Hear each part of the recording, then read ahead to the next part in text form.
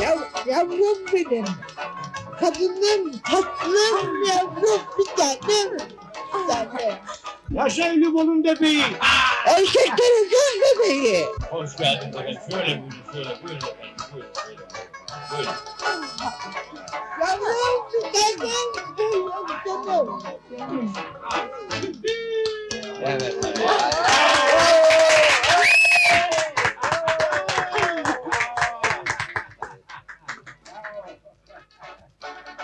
İşte orada oturuyor. Nihayet seni elime geçiriyorum sahtekar herif. Kın avukat seni. Bekle geliyorum. Pespaye kadın.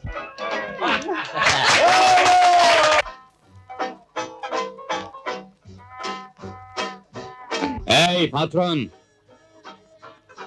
Buyurun bayım. bize hemen şampanya getir. En pahalısından olsun. Red Kit. Merhaba. Gözümüz yollarda kaldı ya. Ee, geldik işte. Ne var ne yok bakalım. Allah sana çok sürprizli bir haberim var. Deme meraklandım anlatsana. Yo, burada olmaz Şerif. Şampanya? Bakıyorum işler yolunda Slim. Bayan Mercedes sayesinde dostum. Merhaba Bay Redkit. Merhaba. İşte şampanyanız Bay Karasakal. Biliyor musun Red? Para yemek nasıl olurmuş? Şu Mercedes işini bilen bir kadın. Paranın nereden geleceğini çok iyi biliyor. Sıhhatine güzelim. Sıhhatine çapkın avukat. Asil bir adam olduğun belli. İyi bildin. Dedelerimden kalma burada büyük bir çiftliğim var. Bu çiftlik demek dedelerinden kaldı. Evet güzelim. Bildiğin gibi değil. Ya bir şey mi oldu?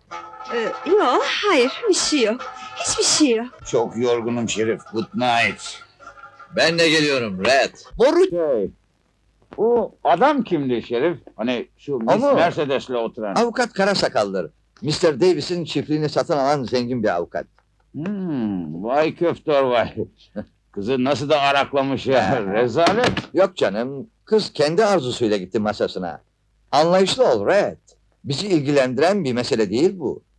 Hem kızın özel hayatına karışamayız biz. Hey Red, Hmm. az kalsın unutuyordum yahu. He. Bizim ihtiyar çiftçi moruk, Ya, sen Vatagul'a gittiğin günden beri kayıp. ilginç. Sen ne düşünüyorsun Şerif? Hiçbir şey. Zavallının kimsesi yoktu.